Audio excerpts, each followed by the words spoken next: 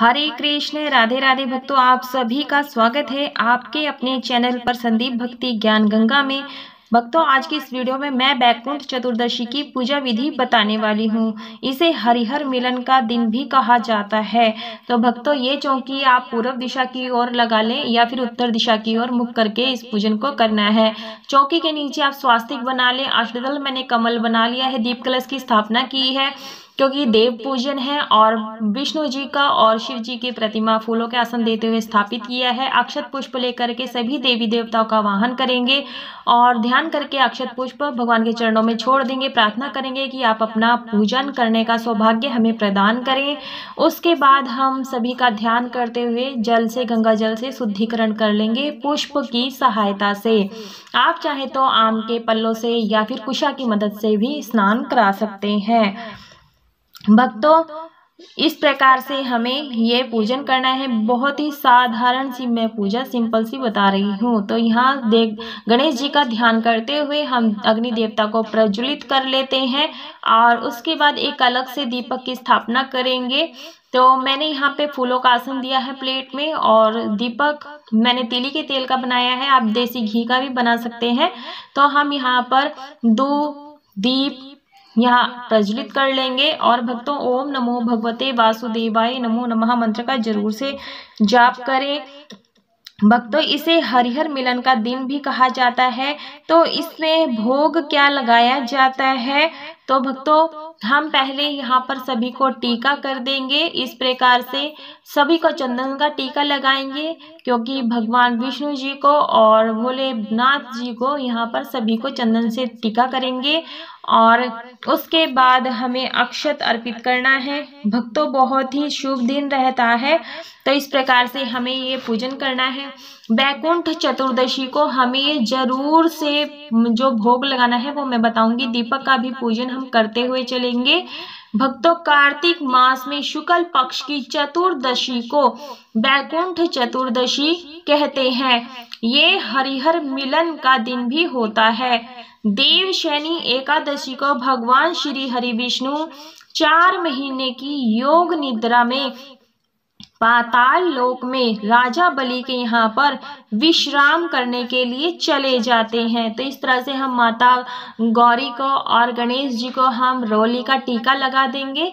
इस प्रकार से आप चाहे तो यहाँ पर मैंने फ़ोटो विराजमान की है, स्थापित की है। आप चाहे तो मूर्ति भी स्थापित कर सकते हैं। सभी का हम यहाँ पर टीका करते रहेंगे। भक्तों, आप ये पूजन सुबह सवेरे भी स्नान करके कर सकते हैं, या फिर शाम के समय गोधुली वेला में कर सकते हैं। वैसे बैकुंठ चतुर्दशी का जो पूजन होता है, मध्य रात्रि में किया जाता है, यानी आधी रात्रि हो जाती है, उसके बीच में पूजन किया जाता है। आप चाहे तो ऐसा भी कर सकते नहीं तो आप बैकुंठ चतुर्दशी के दिन दिन में या शाम में किसी भी समय आप ये पूजन कर सकते हैं। बहुत ही विशेष रहता है ये पूजन। हम यहाँ पर तिली और अक्षत अर्पित कर देंगे, क्योंकि भगवान विष्णु की जितनी भी प्रिय चीज़ें हैं, वो हम भोलेनाथ, यानी भगवान को अर्पित करेंगे, और जो भोले, भगवान की जो प्रिय वस्तुएँ हैं, वो हम भगवान विष्णु जी को समर्पित करेंगे। तो इस प्रकार से हमें सभी में तिली अर्पित करना है, सफ़ेद तिली या फिर काली तिली जो भी आपके पास उपलब्ध हो, आप ज़रूर से अर्पित करें, अक्षत अर्पित करेंगे। इस प्रकार से अक्षत आपके संपूर्ण होने चाहिए, टूटे हुए नहीं होने चाहिए। इस बात का ध्यान आप ज़रूर से रखें। भक्तों, इस प्रकार से हमें सभी का पूजन करते हुए चलना है। उसके बाद हम यहाँ फूलों की माला अर्पित कर देंगे सभी को। तो मेरी माला फूलों की थोड़ी सी बड़ी है तो मैंने दोनों को ही पहना दिया है एक साथ में। भक्तों, इस दौरान भगवान शिव सारी सृष्टि का भरण पोषण करते हैं जब भगवान विष्णु योग निद्रा में चले जाते हैं। देव उठनी एकादशी पर भगवान विष्णु जी को जगाया जाता है। जिसे हम देव उठनी एकादशी भी कहते हैं और देव उत्थान भी कहते हैं। इत्र लगा करके हम वस्त्र रूपी कलावा समर्पित कर देंगे सभी को। आप चाहे तो यहाँ पर पीला या सफ़ेद वस्त्र भी समर्पित कर सकते हैं। तो वस्त्र रूपी हम कलावा यहाँ पर सभी को अर्पित कर रहे हैं। भक्तों पूजा कैसी भी हो, बड़ी हो या छोटी हो, श्रद्धा से करो, सच्चे मन से करो तो इसका विशेष फल हमें प्राप्त होता है। भगवान गणेश जी को, भोलेनाथ जी को और भगवान विष्णु जी को हम जनेऊ समर्पित कर देंगे। और बैकुंठ चतुर्दशी के दिन सृष्टि का जो सारा कार्यभार होता है, वो वापिस भगवान विष्णु को जी को सौंप दिया जाता है। इसलिए हम यहाँ पर जो भगवान भोलेनाथ जी को बेलपत्र अति प्रिय होता है तो हम बेलपत्र चंदन का टीका लगाते हुए मनोकामना बोलते हुए समर्पित कर देंगे। भगवान विष्णु जी को भी बेलपत्र अर्पित करेंगे, क्योंकि आज भोले शंकर जी का और विष्णु जी का मिलन हुआ था। तो इस प्रकार से हम यहाँ पर भगवान विष्णु जी को तुलसी की मंजरी अर्पित करेंगे, तुलसी पत्र अर्पित करेंगे। भक्तों, आज ही चतुर्दशी के दिन ही एक ऐसा दिन है, जो हम तुलसी दल हम भगवान भोलेनाथ जी को समर्पित करते हैं और भोल, विष्णु भगवान जी को हम भोलेनाथ की जो भी प्रिय वस्तुएँ होती हैं, वो हम समर्पित करते हैं। जो भी आपके पास सामग्री उपलब्ध हो, आप उस तरह से आप इस पूजन को संपूर्ण कर सकते हैं। मैंने मदार का पत्ता, भाँग, धतूरा, ये सभी चीज़ें समर्पित कर रही हूँ। मुझे मिल गई थी, यदि आपको नहीं मिल पा रही है तो आप इसको स्किप कर सकते हैं। दुर्वा गणेश जी को समर्पित कर देंगे। इस प्रकार से छुआ करके जो भी आपके पास पुष्प हो, आप वो पुष्प समर्पित कर दें। इसलिए इसे श्री हरि मिलन, हरिहर मिलन का दिन भी कहा जाता है। बैकुंठ चतुर्दशी के दिन ये पूजा आप सुबह में या शाम को कर सकते हैं। दिन में किसी भी समय कर सकते हैं। कहीं कहीं पर यह पूजा मध्य रात्रि में भी किया जाता है। यदि आप लड्डू गोपाल की सेवा करते हैं तो आप लड्डू गोपाल और शिवलिंग भी स्थापित कर सकते हैं इस पूजा में दोनों को एक साथ। तो इस प्रकार से हम अबीर गुलाल अर्पित कर देंगे।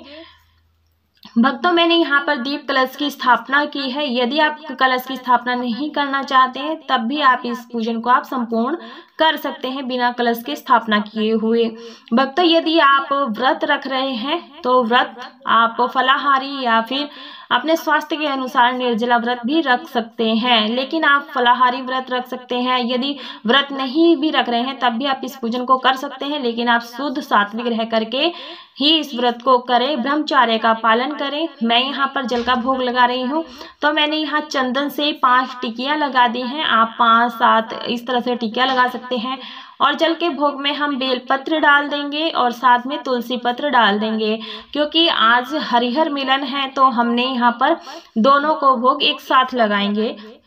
इस प्रकार से रख सकते हैं। आप चाहे तो यहाँ पर मूर्ति या फ़ोटो दोनों को एक साथ रखनी होती है इस पूजा में। अक्षत आप अर्पित कर दें, भोग में आप, यहाँ पर मैंने बताशा का भोग लगा रही हूँ, आप चाहें तो यहाँ पर मिश्री का, चीनी का भोग लगा सकते हैं और भगवान विष्णु जी को आंवला अति प्रिय होता है तो आंवले का भोग हम भोलेनाथ जी को और भगवान विष्णु जी को समर्पित कर देंगे इस प्रकार से। और जब हमारी ये पूजा संपूर्ण हो जाती है, आप ये आंवले दान भी कर सकते हैं या प्रसाद के रूप में भी ग्रहण भी कर सकते हैं। आज के दिन खिचड़ी का भोग लगाया जाता है, मूंग की दाल और चावल लिया जाता है, इसे मिलाकर खिचड़ी बनाई जाती है। तो इसे सात्विक खिचड़ी बनानी होती है। तो इसे हरिहर मिलन का दिन है। तो इन दोनों को दाल चावल मिलन करके खिचड़ी बनाते हैं और इसके ऊपर बेलपत्र और तुलसी पत्र लगा करके हम दोनों को भोग एक ही साथ ही लगा देंगे। आप इसके अंदर सीजनल सब्ज़ी का भी प्रयोग कर सकते हैं और बैकुंठ चतुर्दशी के दिन इस खिचड़ी का भोग विशेष रूप से लगाया जाता है। हरी मूंग की दाल और सफ़ेद चावल को मिलाकर के खिचड़ी बनाई जाती है।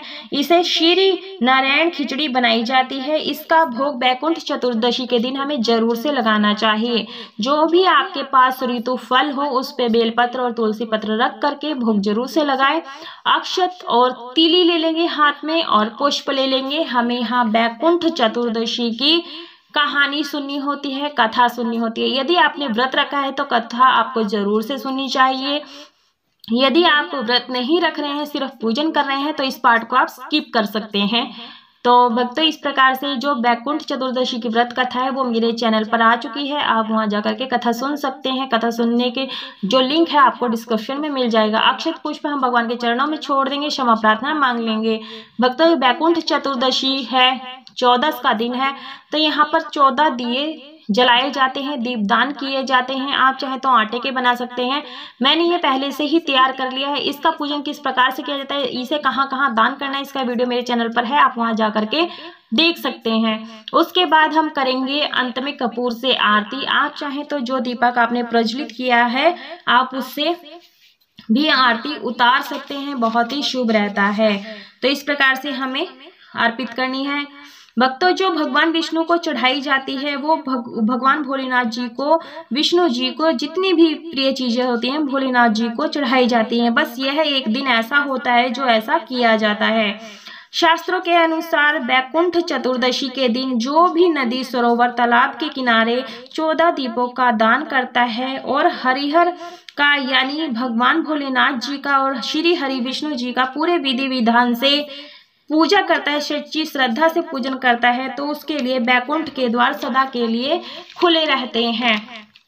तो हम यहाँ पर आचमनी कर देंगे, सभी चीज़ों को मिनस देंगे। मिनसनेस ये होता है, जो भोग प्रसाद होता है, धूप दीप होता है, भगवान सहज स्वीकार कर लेते हैं। उसके बाद क्षमा प्रार्थना ज़रूर से मांग लें। पूजा में रही अधिकतम न्यूनता हो ही जाती है तो क्षमा प्रार्थना ज़रूर से मांग लें। और दक्षिणा आप ज़रूर से समर्पित करें। मैं दक्षिणा समर्पित करना भूल गई थी। तो आप क्षमा प्रार्थना ज़रूर से मांग लें और दक्षिणा ज़रूर से निकालें दक्षिणा जब हम आपकी पूजा संपूर्ण हो जाती है, दक्षिणा आप किसी जरूरतमंद को दान कर सकते हैं। खिचड़ी का भोग जो आपने लगाया है, ये प्रसाद रूप में सभी परिवारजन के साथ ग्रहण कर लें और जो ऋतु फल है, वो सब आप परिवारजन में बांट लें। बैकुंठ चतुर्दशी के दिन ऐसा ही होता है कि भोलेनाथ जी की जितनी प्रिय चीज़ें होती हैं, वो श्री हरि विष्णु को चढ़ाई जाती हैं और विष्णु जी की जितनी भी प्रिय चीज़ें होती हैं, भोलेनाथ जी को चढ़ाई जाती हैं। बैकुंठ चतुर्दशी के दिन विशेष भोग लगाया जाता है। इस दिन श्री हरिहर खिचड़ी तैयार की जाती है तो आप खिचड़ी का भोग ज़रूर से लगाएँ। बैकुंठ चतुर्दशी के दिन शुद्ध सात्विक खिचड़ी देसी घी में बनाकर तैयार की जाती है। बैकुंठ चतुर्दशी की कथा ज़रूर से सुननी चाहिए। ये पूजन आप व्रत करके कर सकते हैं, बिना व्रत करे भी ये पूजन कर सकते हैं। यदि आप चौकी नहीं लगा रहे हैं तो कोई बात नहीं, आप अपने घर के मंदिर में भी ये पूजन कर सकते हैं। वीडियो पसंद आई तो वीडियो को लाइक, शेयर, सब्सक्राइब ज़रूर से करें। कमेंट बॉक्स में श्री हरि विष्णु, ओम नमः शिवाय ज़रूर से। लिखे राधे राधे।